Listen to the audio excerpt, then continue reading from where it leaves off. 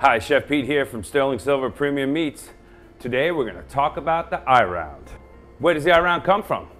Well, it's in the name, it comes from the round complex. So it's something that's going to come off of the gooseneck, which when it's once removed, then it becomes the outside round or bottom round.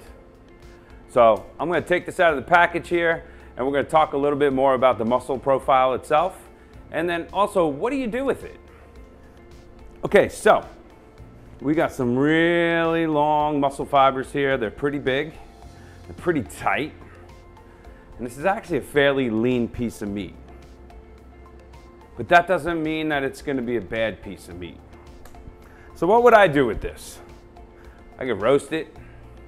You can braise it. Not, not necessarily the best cut for that, but you can. You just got to be real careful with it. Uh, you make steaks out of this. You make stir fry out of it. You make jerky out of it. You can make cube steaks out of it.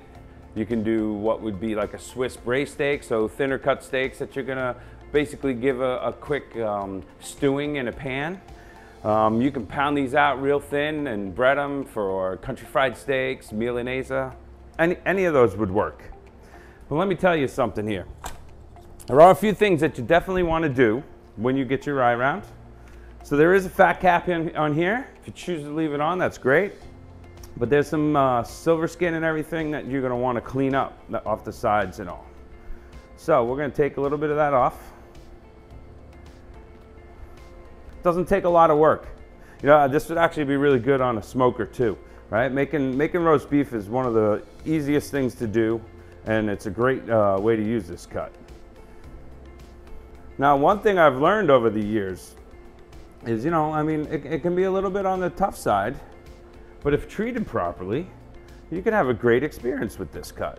So, aging it properly, right? So, minimum day, 21 days age for Sterling Silver program.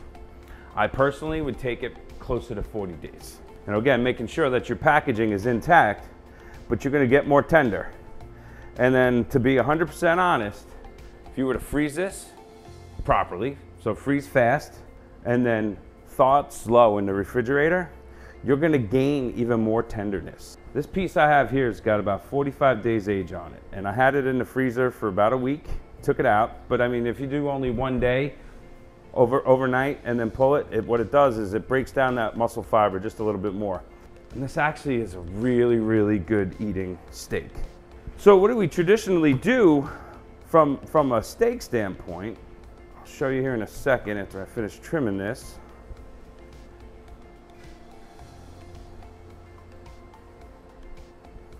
Okay, so I have it trimmed up.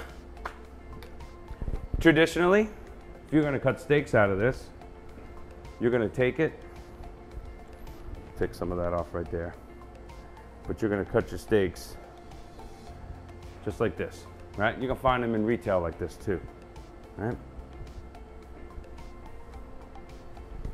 Just like that. That's one way to handle it. Another thing you're gonna do, like I said, roast it whole, smoke it whole, roast half of it, that's great. You could cut some stir fry out of this. And how I would do that take a chunk and I would remove the fat on the top here. Get rid of that. Now, when you're cutting your stir fry, your muscle fibers are running this way, or in this case, standing up and down. So you're gonna wanna cut those muscle fibers as small as possible. So personally, I would take it, stand it up like this, and then I would go straight with those muscle fibers and I would cut slices. And then when you stand it back up, so you can see it right here, these muscle fibers are running across. That's when I would then cut my stir fry pieces. Just like that. Something bigger like this. I mean, unless you want long strips, which you can do, just like this, long strips, that's fine. Or if you want shorter strips, you just do that. Maybe stack it on top of each other and slice it this way. You know, if you got a slicer in the restaurant, you can take this, if you, if you like to put raw meat on a slicer, and, and you can manipulate this and, and cut it faster, of course, on a slicer. Cut your planks, throw them back on, give it a quick uh, chill in the freezer so it stands up a little straighter um, and it's, it's not so flexible. And then you can actually take that and put it in the freezer. So stir fry is great. Take these, pound them out, cube them, works great like that. To be honest, like I said, if you age this really well and then you actually put it in the freezer, pull it out, after a day of being frozen, let it thaw slowly. Don't, don't put it in the water because that's not going to give you that same uh, experience. Right here is a great eating steak. To be honest, it's, it's really, really good. People like lean meat too, so it's got great flavor. But I want to show you something else too that I've done and, and I like to do, just very similar to these planks that I cut. I'm going to take this, and let's just say we uh, take all the fat off of it. We'll do a quick clean in here. Remove all that. Again, just trying to make you think about just different ways, maybe techniques that not a lot of people use. But this can give you a great item for a carving station, but not as a roast beef, right? So I've been to plenty of places where, you know, maybe they've got a flat iron on the carving station right? You know, or some sirloin flap, something that's more steak-like as opposed to a roast. Maybe, maybe it's during lunchtime or something, or for Sunday brunch. Um, sometimes a lot easier to handle. So now, we've got this piece. Again, ran, the fibers are running long ways. We can take this and cut big planks straight across. All right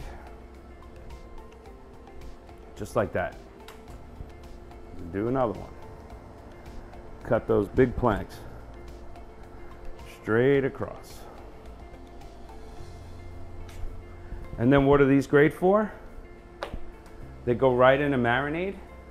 Throw that on the grill, just like this. Put it on your carving station. Nice medium rare steak. I mean, it's an economical cut with a little bit of work there's plenty of profit that can be made, plenty of great eating experiences that can be had.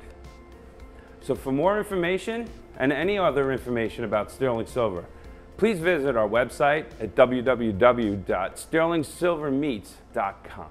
Have a good day.